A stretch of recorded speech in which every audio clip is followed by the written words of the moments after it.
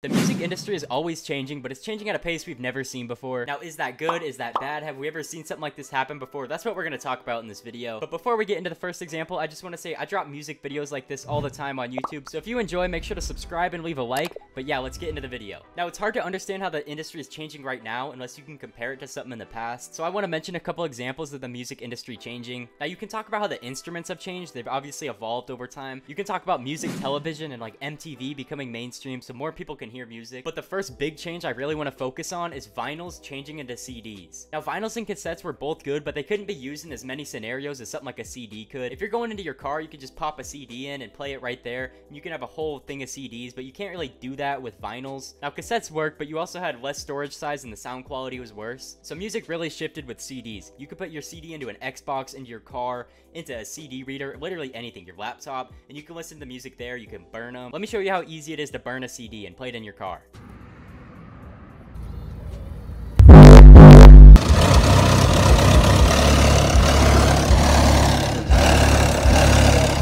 Biggest jump after that was moving to something like iTunes where you could buy the song digitally, so you don't own it physically, but you can still listen to the song. Now that had its pros and cons. You could listen to it offline without a specific player, but then they jumped from buying the MP3 to something like streaming services where you have like Apple Music, Spotify, where you pay a monthly subscription, maybe 10 11 12 dollars and you get to listen to any song you want that's where the biggest issue really came in it appealed to the accessibility and just the convenience and not as much the ownership for the listener so you could pay spotify 120 dollars listen to it all year, and then once it runs out, you have nothing to show for it. Alongside that, it also pays the artist pretty minimally. Before you had to buy the CD and they'd get paid for that sale, but now you don't really have sales. It's more of like a certain amount of streams until you get a sale. They get paid less, basically. This also brought concerns about sound quality because when it's posted online, sometimes it's compressed. You don't get the exact file to sound the way you want. So when you compare that with market saturation, because of how easy it is to just post a song to Spotify, you can see why it's more difficult for artists nowadays when they're not selling physical copies. Now, speaking of posting your own song onto Spotify, I want to thank DistroKid for help making this video possible. With DistroKid, you can pay one small price per year and upload unlimited songs, and you're also getting paid for all those songs, so when I went online and I posted this song, brand new like the iPhone 14 always coming last like your favorite sports team. This shit ass, bro. I ain't gonna lie to you, bro. I was able to make the money back for my subscription originally, so I basically made a profit from just making a fake song. And streaming services are different. It's not like YouTube or SoundCloud where you can just drag your file in and click upload and it just posts it. You have to have a distributor in there in between, and that's where DistroKid really helps. With other distributors, you have to pay every single time you post a song, but with DistroKid, as you can see right here, you just select your plan, like $1.92 a month, and then you could go post 100 songs if you want. So yeah, I strongly recommend it if you're trying to post a song just for fun, or if you want to be an actual artist. And if you want to get it for even cheaper than they already have it, you can click the link down below and use my code and you'll get a little discount. And thanks again to DistroKid. Let's get back into the video. Now, there are some pros to the fact you can use streaming services. Like, you can skip halfway through the song and see if you like it, and just skip it after that if you don't. But that also has cons because the artist doesn't really get paid. You didn't even give their music a chance, and you just kind of skip through it.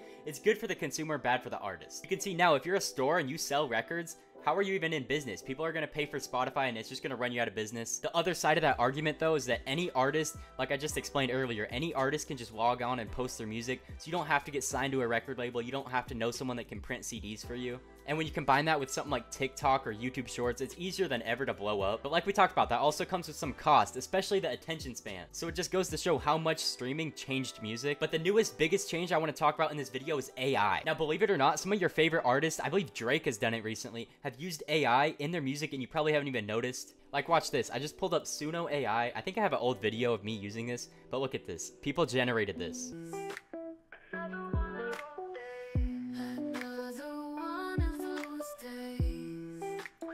So off the bat, that seems really good, and that's just what we have in the public. Imagine what the record labels have behind the scenes that we don't get to use. So say I want to make a song and post it on DistroKid, for example. Watch how quick this is. Make a song about the YouTuber It's Mason. Now I'll just copy and paste a couple lines that I like. Now obviously you can tell this is kind of written by a robot, not as good as you would if you were to write it by hand, but it's only getting better. So let's copy and paste a line that we like, like right here, the chorus, and go over to Suno, click here, paste it, create. I was actually editing this video and I remembered when you're writing a song, usually ChatGPT doesn't do very well, so you can use something like TextFX, which is made by Lupe Fiasco and Google.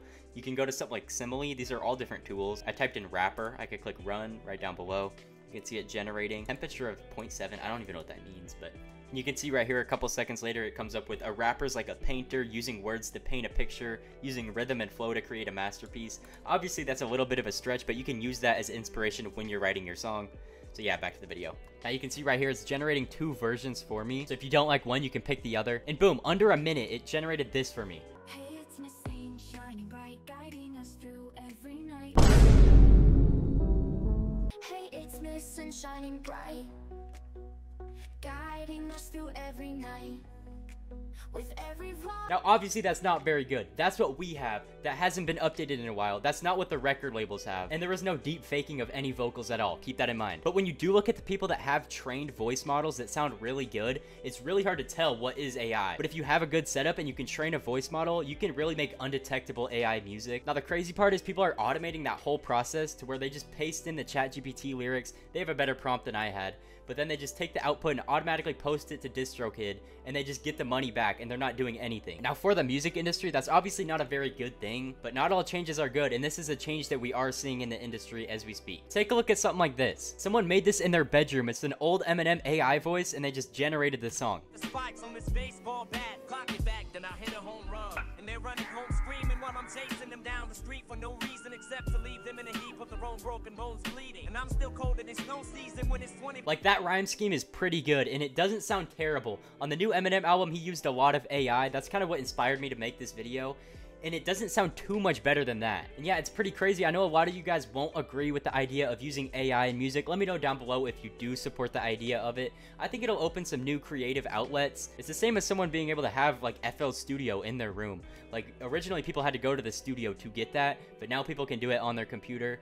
A lot of people didn't like the fact that it became digital, like fake drums, but then we adapted to it and just made music better using that. So do you guys think we're gonna use AI to make music better? Or do you think it's just gonna make us lazy? So that's what I want to talk about in this video. Like I said, leave your thoughts below because this is a very deep subject. There's not a right or wrong answer to using AI. Like I said, we saw Eminem using it to his advantage, but it can also cause people to be lazy like we talked about. And if you want to try to make your own music, I'll leave the links below. I'll leave DistroKid down below. Something I didn't mention is if you're a student, you get half off. So if you're posting music consistently, you'll be making a profit. So if you're interested in posting music, make sure to use that. But thank you for watching. If you want more music content, make sure to subscribe, leave a like if you enjoyed it, leave a dislike if you didn't, and I'm gonna roll some skate clips. Let me know if I should put more skate clips in my videos. Thank you for watching. Peace out.